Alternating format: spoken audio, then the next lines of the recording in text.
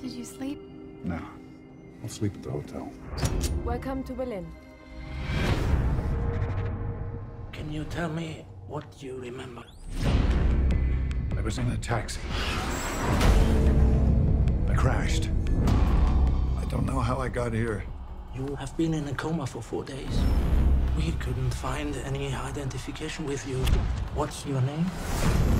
I'm Dr. Martin Harris. Gone for four days. My wife is out there in a city she doesn't know. Excuse me, sir, do you have an invitation? That's my wife over there. Liz, Do I know you?